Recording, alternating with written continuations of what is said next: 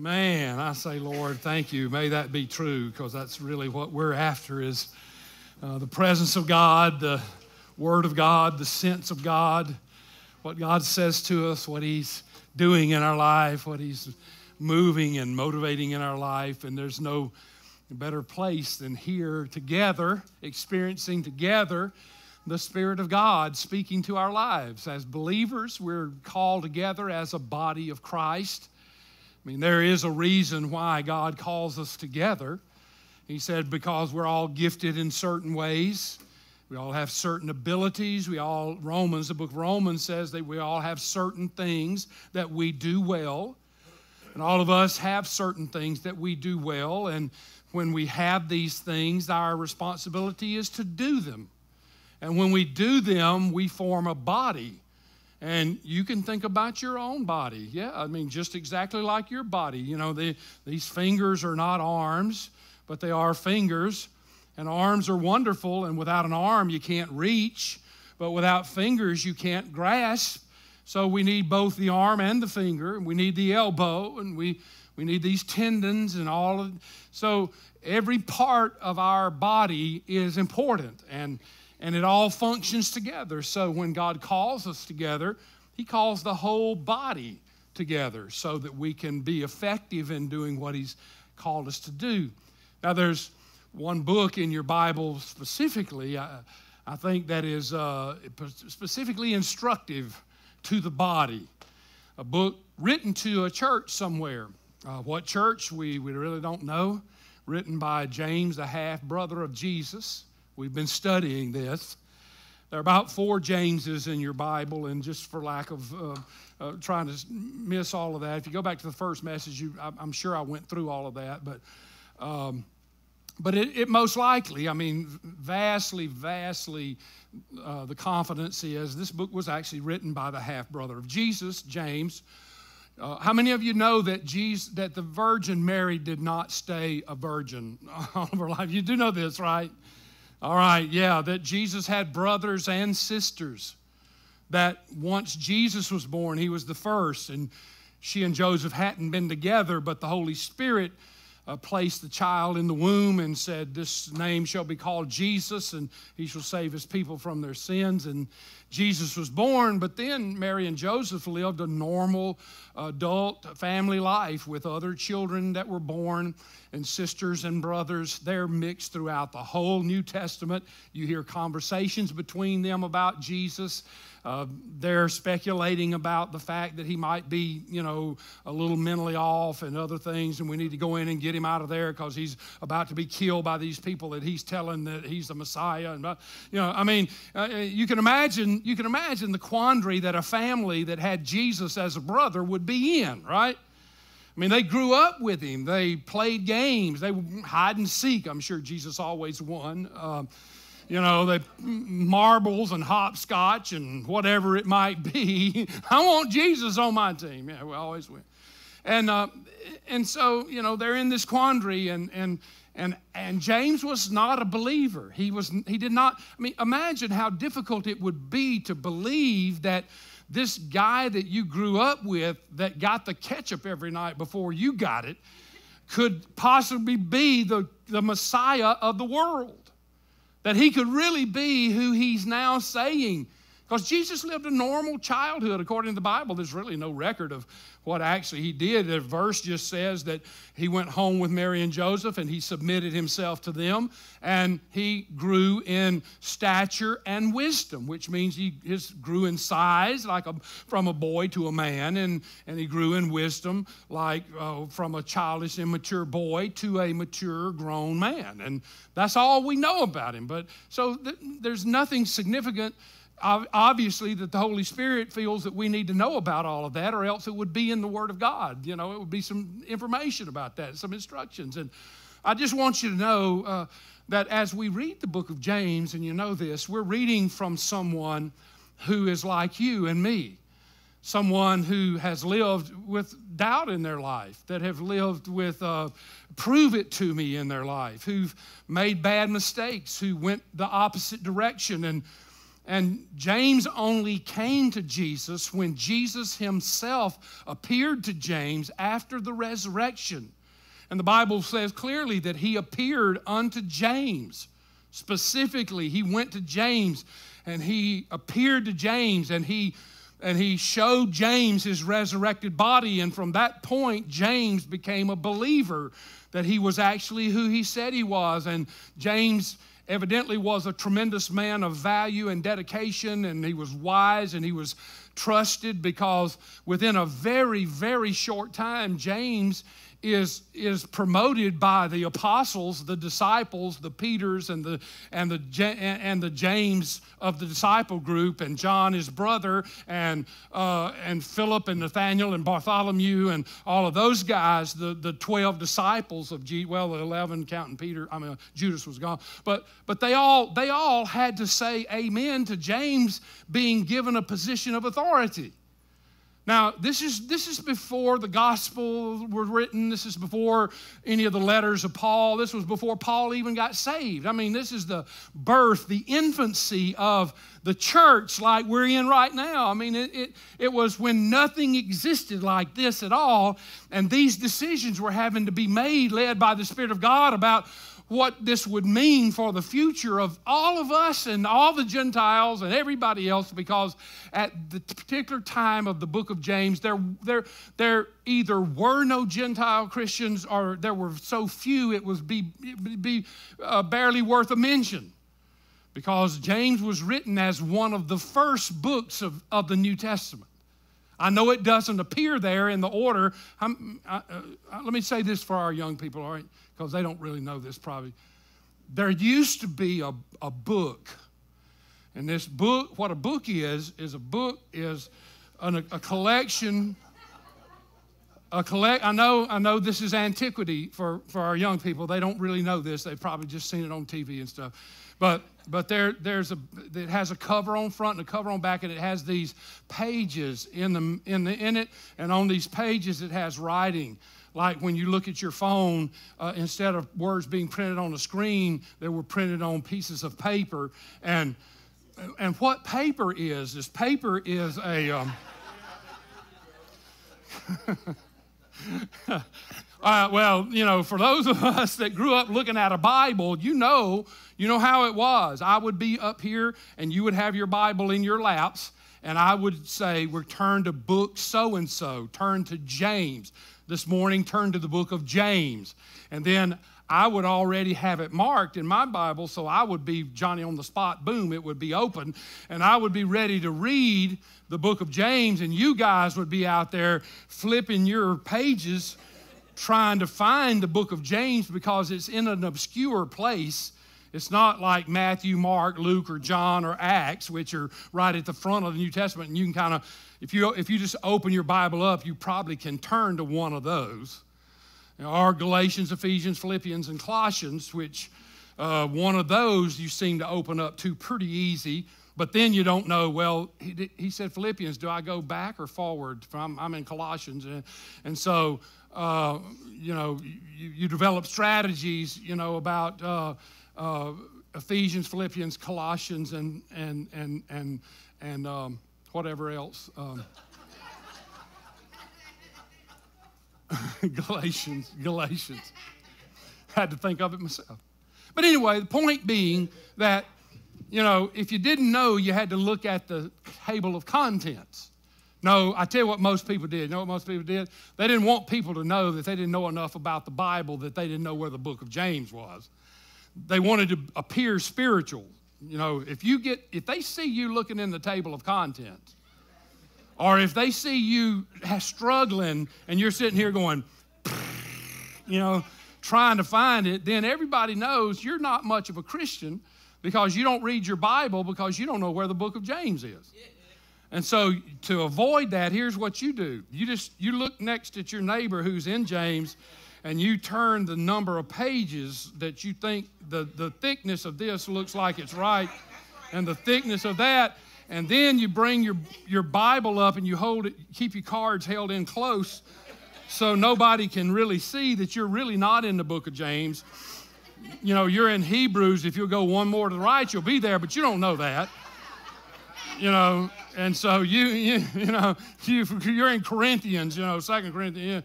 Uh, it looks right, but it, you, you know, where you're not at James. But, but I, I say all that to say to you that the way our Word of God is put together is is amazing, really, and, it, and it's uh, but but it can be a little bit uh, off-putting because it's not in chronological order.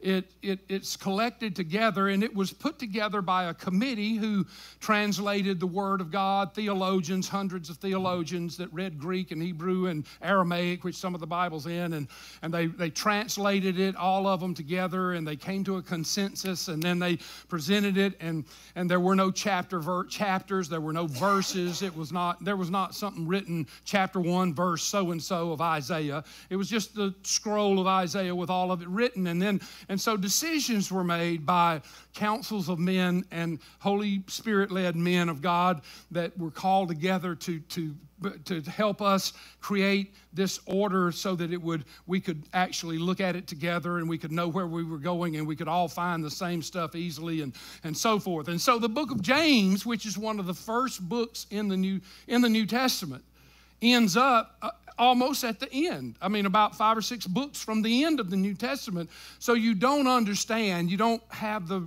rational knowledge by looking at where it's placed, how significant it really is in the kingdom of God. Because you don't realize this was one of the first writings to identify theology and understanding about how, how God works and what God expects. Uh, the first verse says, To the 12 tribes that are scattered abroad, greetings, James says. The reason he says this is because the 12 tribes are the 12 tribes of Israel. They are scattered everywhere throughout the whole earth, and to everybody else, they're lost. They're called often the lost tribes of Israel. Well, they might be lost to us, but they're not lost to God. God knows right where they are.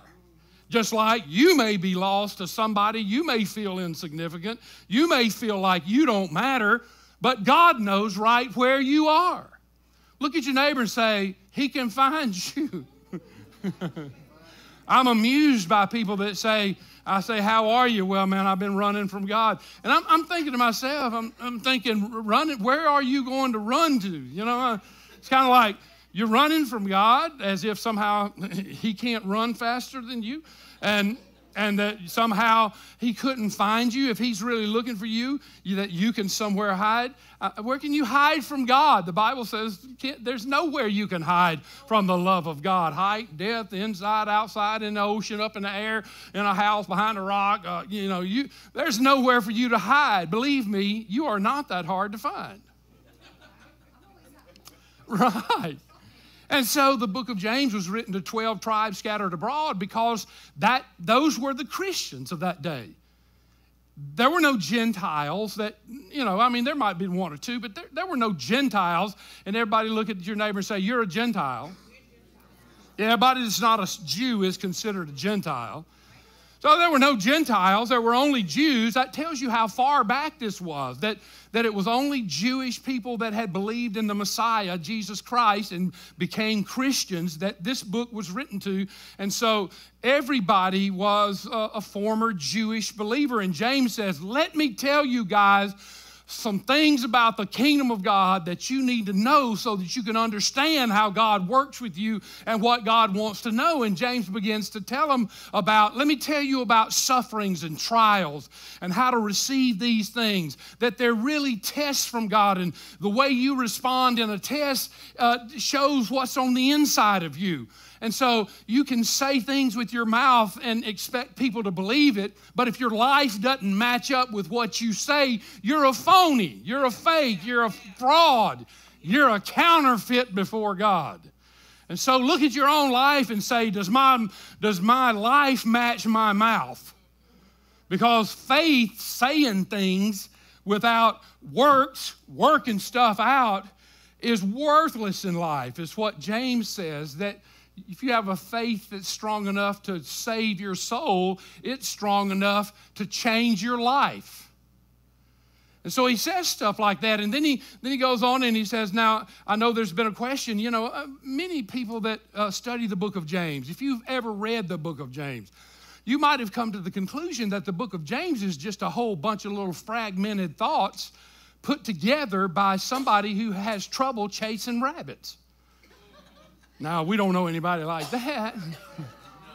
We're not, yeah, you know, we're led by somebody that just goes, follows right down the path always. Never chases one of those rabbits. So I know you have a hard time relating to this, but there are um, people that do that. And James says, uh, but, but I'm just saying to you that no, no, no. The book of James is, is, a, is a precise word from God. It's not a bunch of isolated sermon notes just squashed together to make some kind of a book so it can be part of the Word of God. It's a, it, it, it's a, it's a, it's a writing led by the Holy Spirit of God through a man who God changed his life miraculously and totally when he received Christ and began to speak to him, as the Bible says, holy men of old wrote as they were led by the Spirit of God. And it is a, it is a not a right, strawy little epistle, is what Martin Luther, the leader of the Protestant Reformation, said about the book. He was the great theologian that broke away the Lutherans and the Episcopals and the Presbyterians and the Methodists and all that from the Catholic Church, which ruled the world at the time. When Martin Luther read on the steps, The just shall live by faith out of Romans, and he said, I'm living by anything but faith. And then he got 90 90 reasons, wrote them on a piece of paper, nailed them on the wall of the door, and walked away. And a lot of other people walked away with him and said, That's right, we're not living by faith, let's go. Started a whole nother denomination of Lutherans and Episcopals and Methodists and Presbyterians and, and uh, all of them. And, and, um, and, and, and his opinion of the book of James was, it, he called it, he said, uh, it's a right, strawy little epistle. That's what he said. And the reason he said that is because he didn't understand it. He didn't know what it was talking about.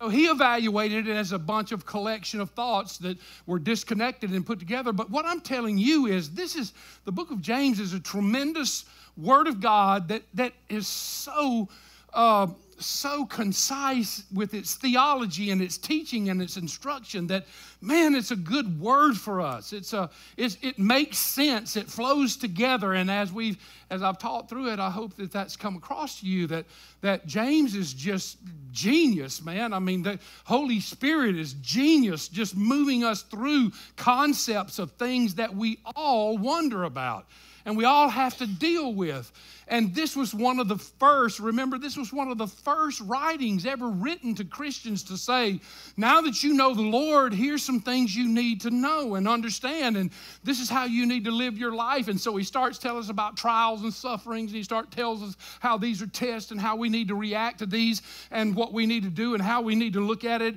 And, and temptation comes from the devil and everything good comes from God. And understand that. And if you know this, then it's going to carry you through some of these times where you have problems and you have temptations and you have sufferings. And then he says, Now don't get too big for your britches and start trying to judge other people and, and, and, and treat them differently. You need to pay attention to how you treat brothers and sisters in Christ and, and don't be hypocrites about uh, honoring some people and dishonoring other people. And then he says, Oh, and your tongue. You need to watch how you talk because your tongue is set on fire of hell and it's full of everything. It's a fire, it's a poison, you know, it's a wild animal and no man can tame it. Only God can tame your tongue. And he just talks a whole chapter about how to control your tongue in life. And then we came to chapter four and he said, You know what happens when you won't let God have control of your life? You know what happens when you take control of your own life? What happens is you end up on the outside. You, you become a have not in life. And then you're a have not because you ask not. And then when you ask, you don't receive because God's not honoring your request because He knows that you have a heart that only is concerned about itself. And he says, even though you may have a relationship with God, in other words, you may have bowed on your knees and truly said, Lord Jesus, come into my life, save my soul, I surrender, I wave the white flag, and you may truly, legitimately come to Christ and have a wonderful relationship with Christ, but all of a sudden things begin to shift in the way you live your life and you begin to live more for yourself, taking on the responsibility of your life and the decisions of your life and the directions of your life. I know nobody in here has ever done that, but you know, let's just say that it can be done, all right? That that can happen to you.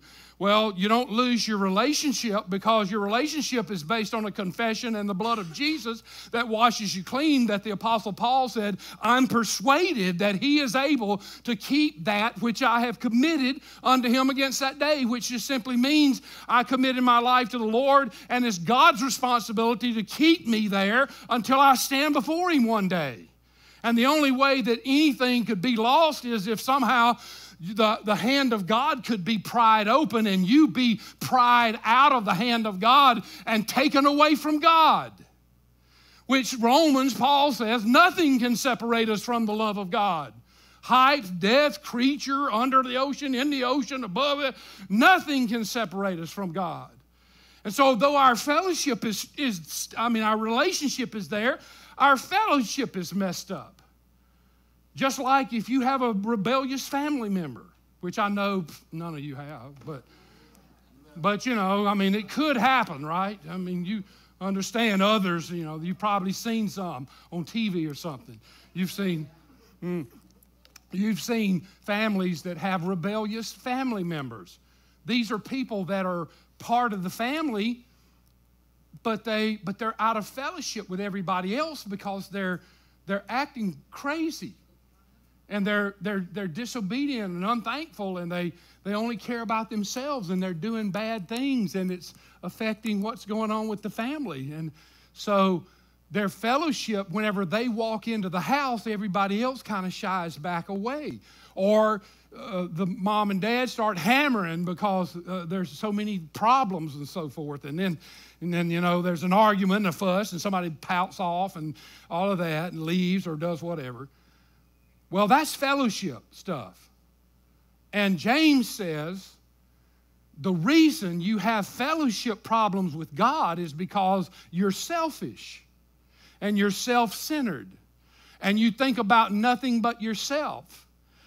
And you have taken the control of your own life back.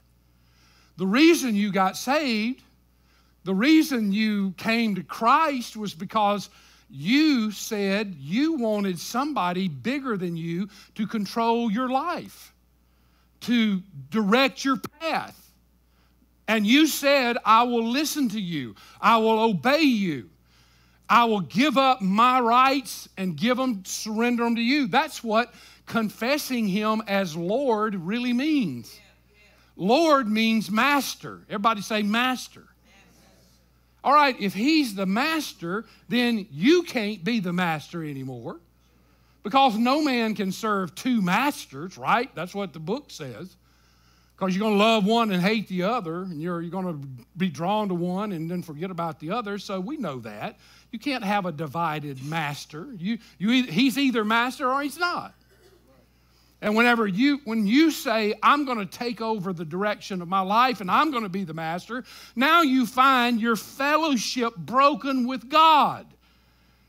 You can walk in and say, Dad, and Dad says, Come in and I'll forgive, repent, and I'll turn you back. Uh, but you're out of fellowship and you sense this and you know this and you and, and, and you're, you feel alone and isolated and, and rejected and all of that kind of stuff. And, and James says, Let me tell you how to get back right. If, you, if this has ever happened to you, or if it's happening right now to you, let me tell you how to get back, James says. James says there are eight things that you need to know you need to know, first of all, and this is not one of the eight, but this is just a general thought, that, that pride is what has done it to you. Pride. That insidious monster of pride. Your own belief that you can handle things. Your belief that, that you're strong enough, you're smart enough, you're capable enough, and you have allowed pride to stand between you and God. What is pride? Pride's a lack of submission. Pride is, is a rebellion against authority. And what is the essence of sin? I mean, when you boil sin down to its lowest point, its most common denominator, the Bible says we have all sinned and come short of the glory of God. What does it mean to sin? What is sin? Well, sin in its essence is rebellion against God. It is, it is, it is walking away from God instead of toward God. It is, it is the lack of surrender to God. That's what sin in its, in its essence is. You say, why would I go to hell if I'm a sinner? Because sin means walk away from God. Sin means I do my own thing. Sin means I will not submit and I will not surrender to God. And God ain't telling me what to do. And so James says, it, when you find yourself separated in fellowship because of the things that you are doing or involved in, you can come back. And so in chapter 4, he says, and he says those eight things. He says, well, all right, what do I need to do, God? All right, you need to submit yourself to God.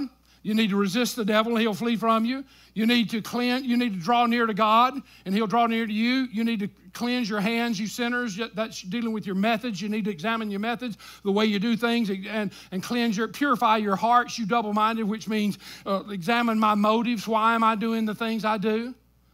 So I submit, then I resist, then I draw near, and God doesn't close the door on his side. He said, You draw near to God. Who takes the impetus? Who takes the who, who makes the first move? He said, You draw near to me. I mean, the Bible says that we love God because he first loved us. The only reason we care about God is that God cared about us first. And so God said, I'm going to tell you what, if you will come to me, I will not lock the door on my side. Draw near to me, and then I'll draw near to you, and then cleanse your hand and purify your hearts, your method and, and, and your methods. And then he, and then he says, uh, uh, lament and weep and mourn, and let your laughter be turned to mourning and your joy be turned to heaviness. What in the world is that? He's just saying when somebody really gets real with God, life is not a, a, a, joke fest. Life is not a feel good party. When you really come into the presence of God, God, there's an awesomeness, there's a reverence, there's a there's an overwhelming sense of awe that just knocks you down. And you don't the first thing that happens when you see Jesus is you don't start laughing and jumping and joying, hey Jesus, oh buddy, I mean, no, first thing happens to you, same thing that happened to everybody in the Bible when they came into the presence of anything holy, angels, much less Jesus they fell out. I mean, they had to be awakened from whatever it was and, and, and, hey, get up, buddy, fear not. That's the first words had to be said to them every time. Fear not. Why did they have to say that? Because their fear overwhelmed them and just knocked them flat out. And the Bible says when we really see Him, then we will see ourselves like we really are, and we're not going to like what we see, and so we're not going to be laughing hyenas about what's going on in our life. We're going to be sad. We're going to weep. We're going to mourn. We're going to repent. We're going to say, God, how sorry am I? How wicked am I? So you can tell when the real Holy Spirit has shown up in your life, not because He makes you feel good, but because He challenges the lostness of your life. James says that's what you do. You allow the real Holy Spirit to look into your life and you hear what He says. And when you see yourself, you probably won't be happy about what you see. Yeah, and then He says, humble yourselves in the sight of the Lord. And He'll live. God humble me, God humble me. No, that's not God's job. He didn't say, I'm going to humble you. He said, You humble yourself. Why would he say that? Well, the very act of repentance is changing your direction. That's what it means. It means I was going this way and I do whoop, about face, repent. That's what it means. It doesn't mean I look at what I'm doing and say, I'm sorry, God. And I just keep walking right on him. I say, I'm sorry, God, you're right. I mean, that's not repentance. Repentance is an act. Repentance is something you do. Repent means, boom, change direction. That is repent. Now walk the other direction. That's what repentance means. And so he said, you know, you humble yourself, you you come to me, you you repent, and then I'm going to change your life. And then he says one one last little thing here, and this was the newness that we had. And let me just kind of get it over here because I didn't run all through everything. I mean, those are all stuff we had last week. Let me just get to the last one because you remember I had one left. All right, here it is. Here are the verses. Verse 11. This chapter 4, verse 11, 12. Do not speak evil of one another, brethren. He who speaks evil of a brother and judges his brother speaks evil of the law and judges the law. But if you judge the law, you are not a doer of the law, but a judge. There's only one lawgiver who is able to save and to destroy. And who are you to judge another? So he gives four things right in, that, in those two verses that we need to know that it does matter how we treat each other. Notice what he says first do not speak evil of one another, brethren. What is he talking about? Well, he's talking about the fact that, that we are brothers. We are brothers and sisters in Christ. So, what does that mean? Well, the Apostle Paul in the book of Galatians, which is one of those, you know, General Electric Power Company, that's how you remember. I don't know if you know that or not. G E P C, Galatians, Ephesians, Philippians, and Colossians, General Electric Power Company. So when you turn to Philippians, go G E P uh, power. All right, General, Galatians is this way, and Ephesians is this way, and Colossians is that way. Then you can appear spiritual. All right. All right. So anyway, uh, uh, Paul in the book of Galatians says this. He says, "Do good to all men." Especially those who are of the household of faith. In other words, Paul said, you know what God wants from us? He wants us to treat everyone with respect. He wants us to be gracious to everyone. That, that we should be, you say, I want to be known for what I am rather than what I'm not. Well, there you go. Uh, that person is an honest person, is a gracious person, is a, is a, is a non-critical person. That person is uh, is a, is a somebody i like to talk to. That person is not always walking around looking for something to be bitter and sour and critical about looking for some way to criticize people all the time and finding something wrong with this thought and that thought and this action and that action. And, and, and, and, and, and I'm not saying that there aren't things that are wrong and that we can point out things that are wrong. That's not the impetus of what's being said here. What is being said here is that we do not walk around with this critical heart looking for something to criticize people about. And I'm going to tell you something if you go to YouTube, you can find videos that will criticize everything that anybody does in life. Every Christian minister is a demon from hell. Every church doesn't teach sound doctrine. I mean, I guarantee you there's probably not a word about me on there because I'm not a big enough shot to be on there. But, but um, but if it, but if somebody, I guarantee you, if somebody watched what I preach every Sunday, they would probably say, "Why, why Pastor Keith is a false prophet?" And put a video on interview, uh, on interview, on YouTube, telling you why you shouldn't believe what I say, and they'll, well, well, why? Because their whole life is let me find something to criticize so that I can be critical. You know what that is? It's really a pride issue. It's like, let me tell you why I'm the greatest and why they are not the greatest. That's what it all boils down to. And it's and it's a refusal to submit to Christ, which is the essence of sin. That is what sin is in its basis. So you don't do this. You don't walk around with a critical attitude. Now, it doesn't mean you never say anything or straighten anything out. It, it's not, it's not a, a, an instruction to never pay attention to what's happening and correct something. It just says don't walk around with an attitude that everything is wrong and you're, you've been elected to point it all out. And be constantly nitpicking and finding fault with everything around you.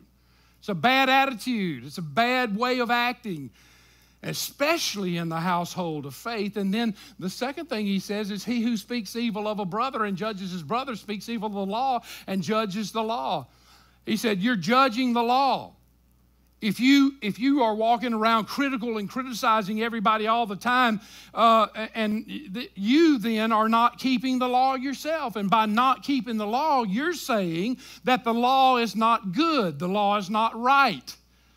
If you don't keep it that is a subtle criticism that it doesn't mean anything so, by not keeping it, you are saying this really is not important and this really doesn't mean anything because I'm showing you that it doesn't matter because I don't care whether I obey it or not.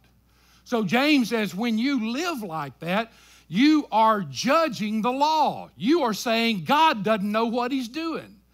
God made a rule here, God made a law here, and, and God doesn't know what he's talking about. And I'm, I'm better suited to know this. You know, everything is, uh, is what is relational. Everything is, I'm looking for a word, but I can't think of it. Um, anyway, relative, relative. Yeah, everything is relative. Did, did you think of that word? I cannot believe that, but you did it. That was the word. Everything's relative. Yeah. It just matters what, what's happening and, and who's happening to it and what's going on. I mean, you know, just choose that. Well, yeah, yeah. So uh, forget the law. And then the third thing, uh, but if you judge the law, you're not a doer of the law, but you're a judge of the law. There is one lawgiver who is able to save and to destroy. Uh, that just simply means that the critic and the criticized both are going to stand before the same judge one day.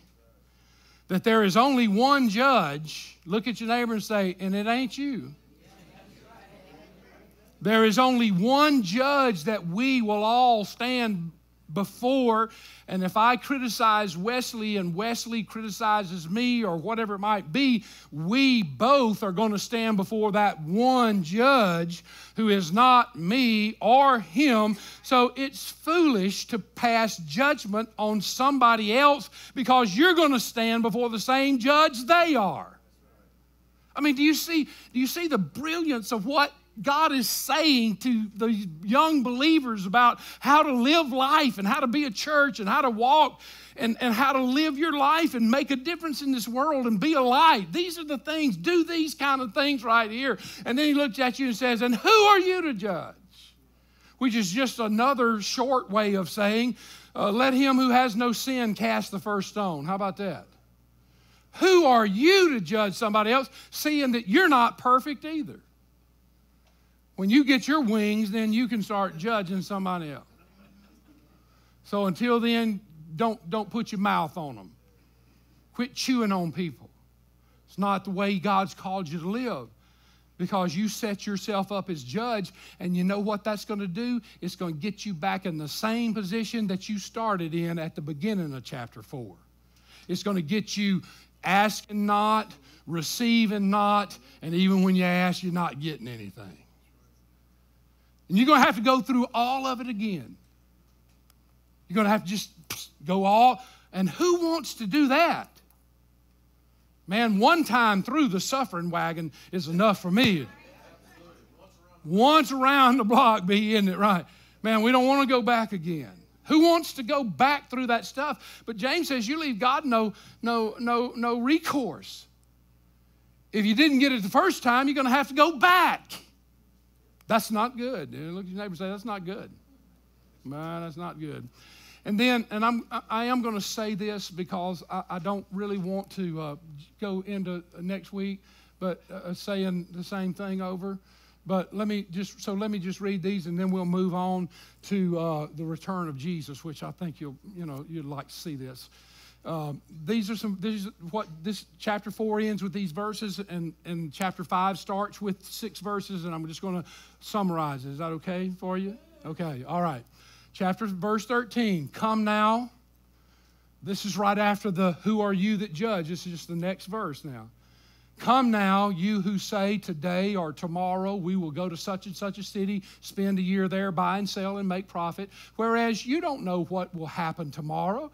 For what is your life? It's even a vapor that appears for a little time and then vanishes away. These are the five presumptuous areas of life. You can write them down. They go in those five blanks that are in the right in the middle of your note page. There they are. These are areas that I presume in other words, I consider them to be under the purview of my thought patterns, my direction. These are things that I don't place before the Lord and ask Him to give me direction about. These are things that I presume are going to happen in life. And they're all in that verse 13. He says, because you're going to say, uh, today or tomorrow, which is an assumption about the time of your life. You're assuming that there will be a today or tomorrow. See, you're saying, I'm going to do this tomorrow. Well, you don't even know if there'll be a tomorrow. Because all through the Bible, the Bible is complete by telling you that your life is a vapor it says you're a mist. You know, Psalm says your life is a vapor. Uh, in another place in Psalm, it says you're like a flower on the hillside that when the sun comes out, you wilt right away. James even said in the first chapter that prosperity is like a flower of the field that looks good until the heat comes up and then it just withers away. And so the Bible completely tells us that we have no control over the times of our life, that only God knows whether there'll be a today or tomorrow. So James is saying, look, if you're a traveling salesman, and, and, I, and I put this on your note, uh, he, these verses deal with the working man, with the blue collar man who's going to go to another city like a traveling salesman and sell his goods and make a living and all that, which is the blue collar people, which most of us are people that work for a living and get paid by the hour and blah, blah, blah. We are blue collar people. And then starting chapter five, he says, okay, you white collars, you rich people, you business owners, I got a word for you too. I want you to see how you presume on God.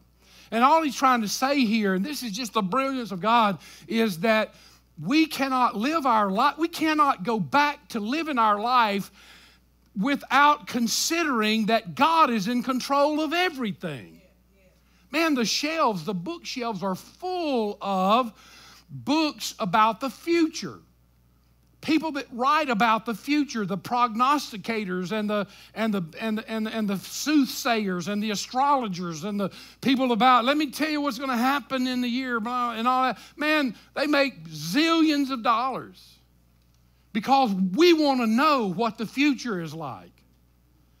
But James says only God knows what the future is like. And if you're seeking any other way, you're foolish. And you're going to end up back at the start of chapter 4 again because you have assumed that you somehow can control the time in your life. We're going to go to such and such a city, which is traveling, mobility, but you do you do realize when you get in one of these automobiles or you get on a bus or you get on a plane or you ride a bicycle or you walk, certainly if you walk down any road in Gulfport, Mississippi, because there are no sides of any roads in Gulfport, Mississippi. You walk on the pavement or you walk in a ditch, one, one or the other. And you wobbling on the side of the road trying to keep from getting run over on that little two or three inches you have to go down the road like this, you know. You know that's you walking down. You do know that you have no guarantee of getting where you're going. When you get on that plane, God knows whether the plane's going to make it, but you don't. Um, God knows whether you're going to get to that place you're going or whether you're not going to get to. But you don't know.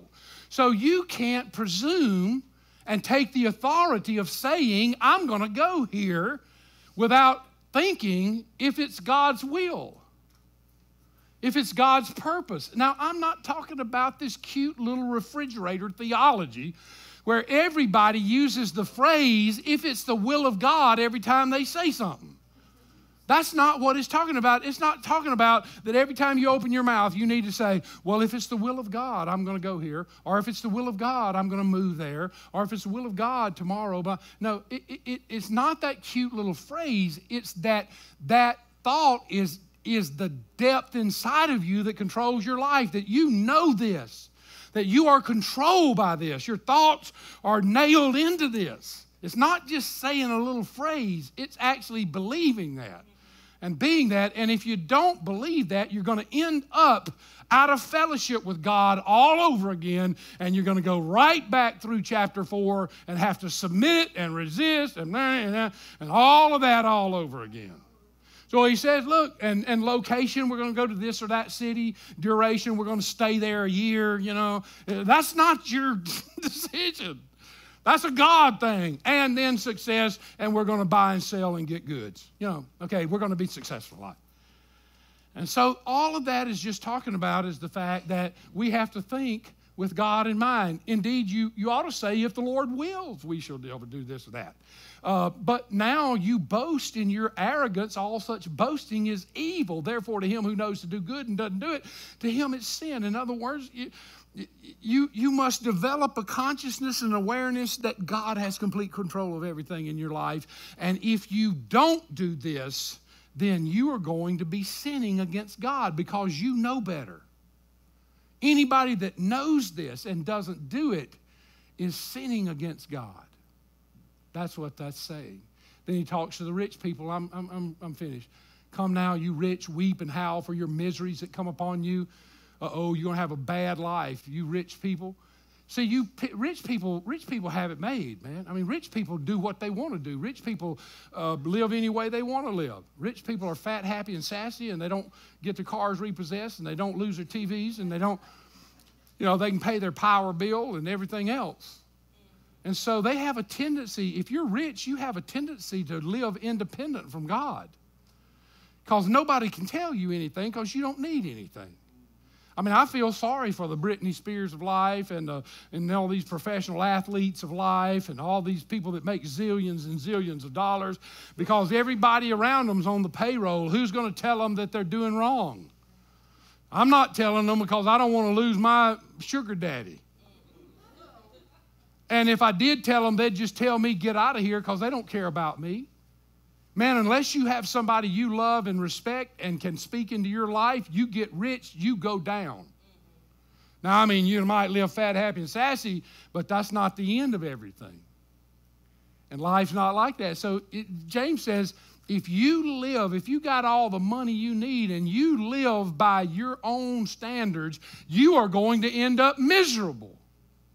It's going to be a terrible time. Your riches are corrupted and your garments are moth eaten.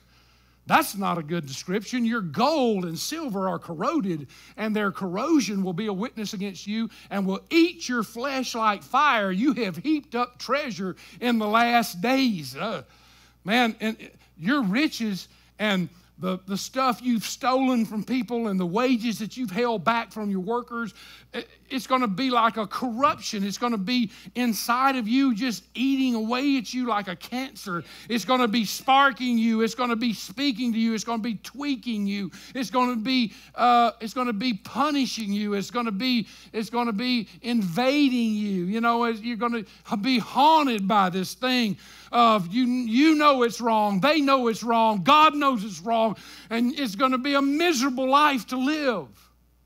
That's what James is saying. James is saying, you, you can't. You, you can't take your own life back. You've got to stay surrendered to Christ in everything or life or all that stuff you think you've laid up from the future is going to be gone. Look at it what it says. Indeed, the wages of the laborers who mowed your fields, which you kept back by fraud, cry out, and the cries of the reapers have reached the ears of the Lord of the Sabaoth, which means the Lord of hosts, the Lord of armies. You're in trouble. God's going to fight. Uh, you have lived on earth in pleasure and luxury. You have fattened your hearts as in the day of slaughter. In other words, what he's saying to them there is, he's saying, just like a just like a calf who has been put in a stall and fed grain doesn't realize that they're not privileged. They don't realize the reason they're being fed grain is not because they're privileged, it's because they're going to end up as a main course tonight.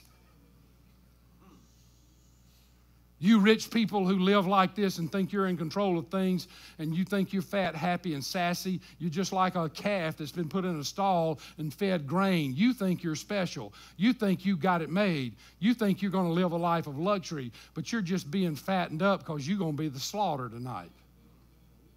That's what James is saying. So he's saying, look, man, don't just because you're rich, don't think you got it made. You have condemned and you have murdered the just, and he does not resist you. You know why they don't resist you? Because they can't. You have the power, you have the strength, you have the control. So how can we how can we not do all of this? How can we live a life that's not like this? You remember that one little phrase back in chapter 4 I told you a couple of times. Remember this, remember this. And I know you remember everything I say, so I know this is redundant, but that little phrase in verse 6 it says, But he giveth more grace. Remember that little phrase? You say, How can I live like this? How can I uh, submit? How can I resist? How can I humble? How can I keep my motives pure and my, and my mind pure and my heart pure? How can, I, how can I keep from getting too big for my britches? How can I keep from being a critical attitude and taking my, back control of my life and living like I want to live and not even consider God? How can I live like this? But He giveth more grace. The only way you can do it is to be given it by Him. The more grace you need, the more He gives. The only time He doesn't give it is when you decide that you're bigger than Him and you're full of pride and you won't submit. When you submit, the Bible says He gives more grace. When you don't submit, here's what the Bible says. And James, remember the word? God resists the proud Resist means fights against, wars against. But when you submit, He gives more grace. We can't do this ourselves, but through Him, the greater the difficulty that we face in life, the greater the grace that He gives us to make it through these things. I, I remember an old saying, I, I, wrote it down on one of the notes I had. Let me see if I, yeah, here it is. This I don't even know who said this. I know it wasn't me, but but I've said it so long it you know I probably think it is, but it's not. It's somebody else. It says this: only one life will soon be passed, and only what's done for Christ will last. That's what James is saying here. Only one life. You have one life, and it will soon be past. It's a vapor. It's here today and gone tomorrow. It's a, it's a vanishing flower. Only one life, and it will soon be past. And only what's done for Christ the motivation of the kingdom, the motivation of surrender, the motivation of He's the boss and I do what He says and He controls my life and I depend on Him and, and, and I can do nothing without Christ. I can do everything with Christ, but I can do nothing without Christ. That attitude and only what's done for Christ will last. Thank you.